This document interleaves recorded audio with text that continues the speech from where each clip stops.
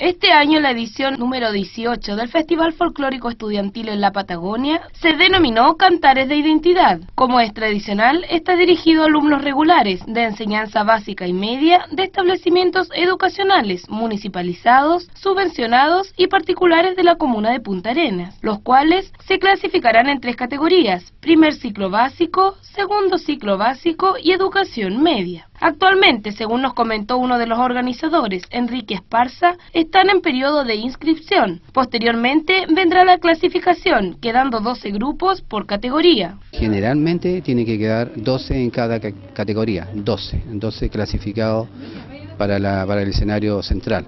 Eh, a veces se puede dar la ocasión por determinación del jurado de la preselección que determina que quede un par de, representantes más, pero generalmente son 12, eh, porque si no, si, en cada una de las categorías fuera más gente, más clasificados, sería maratónica la jornada.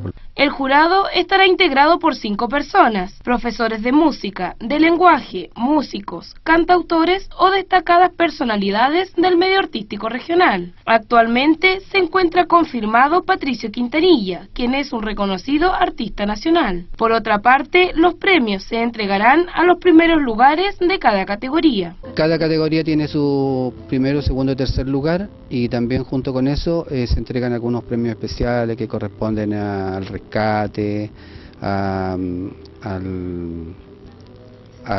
premio de la trayectoria, eh, revelación, entre otros. Y también eh, se, entregan algunos premios que corresponden generalmente a la, a la parte de intercambio.